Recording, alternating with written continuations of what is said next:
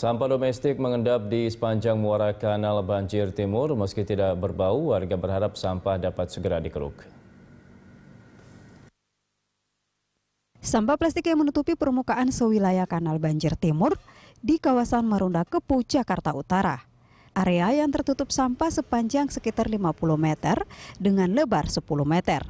Di area dekat jalan, sampah telah bercampur dengan tanaman eceng gondok. Warga sekitar mengakui sampah tersebut memang telah ada setiap tahun, namun setiap musim penghujan jumlahnya bertambah signifikan. Sampah tersebut diklaim merupakan kiriman dari daerah Bojong. Pasalnya hanya terdapat belasan pemukiman warga di ujung dari muara kanal banjir timur tersebut. Apa setahun sekali? Setahun sekali. Uh -uh. Setiap musim apa itu? Musim hujan. Terus Setiap tahun ada, cuman nggak terlalu banyak kayak begini. Oh, gitu. Setiap tahun ada, cuman ini kayaknya apa? Terlalu banyak. Enggak sih, enggak nggak berbau. Ya kepengennya dibersihin kalau bisa. Udah. Sudah ada yang membersihkan. Udah, udah ada itu kan yang kemarin kan Lurah sama Camat udah kemarin. Uh, terus udah ada orang yang ngangkatin sampahnya. Iya, udah mulai besok mulai. Minggu lalu pihak kelurahan telah melakukan peninjauan. Rencananya mulai Senin sampah tersebut akan mulai dikeruk dan diangkat.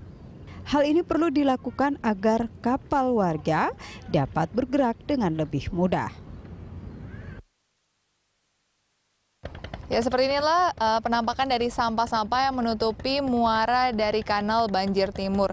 Sebenarnya sebagian besar sampah sudah mengering, bahkan warnanya pun sudah berubah menjadi kecoklatan sehingga uh, tidak berbau sebenarnya. Tetapi jika dilihat dari segi estetika, kemudian kesehatan tentu ini tidak baik. Dan tentunya kita berharap agar pemerintah, dalam hal ini Pemprov DKI Jakarta dapat membersihkan, kemudian mengangkat sampah-sampah ini agar sebagian wilayah dari kanal banjir timur yang telah tahunan tertutup sampah dapat kembali kembali normal. Keisha Netania, Rianto Triutomo, pilot drone Yanuar Rahmasya, Berita 1, Jakarta.